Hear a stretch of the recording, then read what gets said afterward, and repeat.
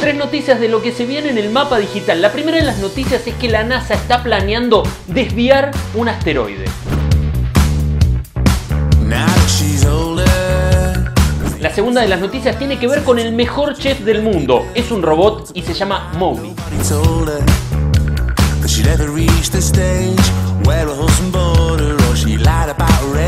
Y la tercera de las noticias es que la inteligencia artificial está aprendiendo a hacer parkour.